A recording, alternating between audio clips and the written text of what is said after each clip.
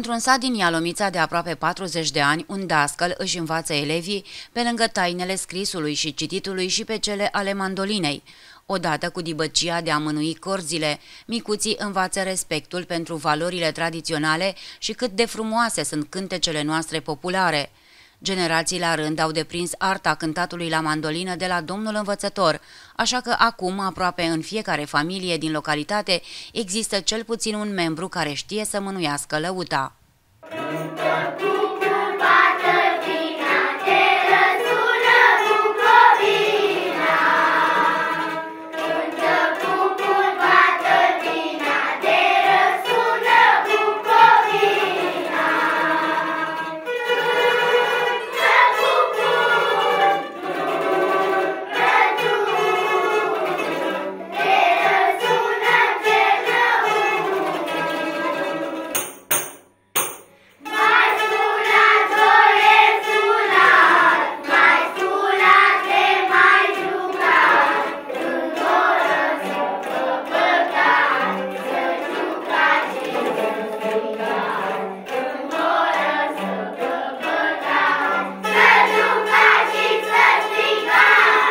Gheorghe Andrei s-a născut în satul Aluniș din Buzău, însă a prins rădăcini pe malul Dunării la Giurgeni, acolo unde a fost repartizat la absolvirea liceului pedagogic. Pasionat de folclor, dascălul a pus atunci bazele unui mic ansamblu de mandoline, iar apoi a transmis pasiunea sa fiecarei generații pe care a educat-o. La fiecare sfârșit de săptămână, sala de clasă se transformă într-o adevărată scenă.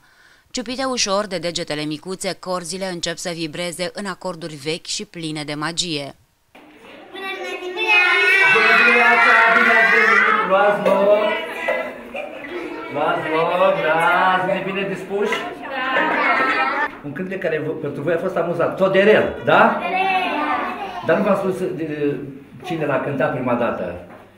Marea doamnă cântului românesc, Maria Tănase. Deci, haideți să dacă ne mai reamintim. Vai săracul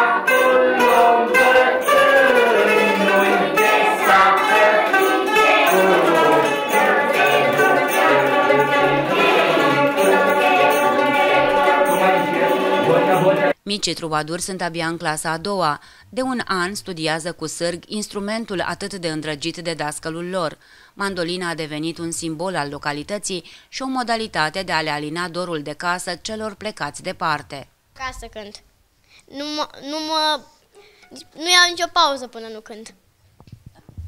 Și mami ce zice? Mami îi place cum când mă și filmează și le trimite lui tata. Tati unde În uh, străinătate, în Suedia. Este foarte mândru de mine și mi-a zis să-mi să continui visul. Mai cântă cineva la tine în familie la mandolină? Da. Cine? Mami. Și ea unde a învățat? La domnul învățător în clasă. Mie îmi place mandolina. E lucrul meu cel mai preferat din lume. Și o iubesc foarte mult. Știm să cântăm la un instrument foarte sofisticat și frumos. Să luăm pana, o ținem în mână și dăm la corzi. Uite așa.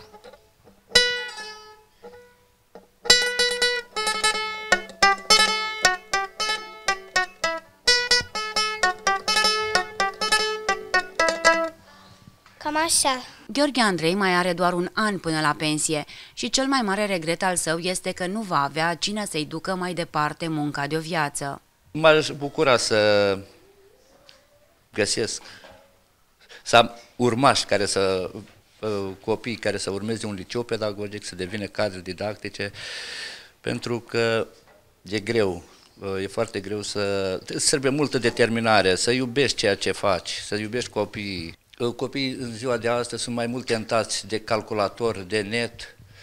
Am încercat să îndrum spre valorile spirituale, adevăratele valori ale poporului român, dragostea de carte, deci cultura, tradițiile, iar a învăța un instrument este un lucru deosebit, nu este deloc ușor, dar uh, dacă ai aplicat, faci acest lucru de mai multe ori, ai capeți uh, experiență și cum să vă, este o mândrie pentru comunitate. Cântecul este apropiat de sufletul oamenilor, uh, este un mesaj pe care îl înțelege oricine.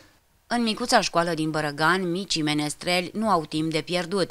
Pregătesc deja spectacolul pentru centenarul Marii Uniri, unde vor cânta la mandolină cântece din toate zonele istorice ale României Mari.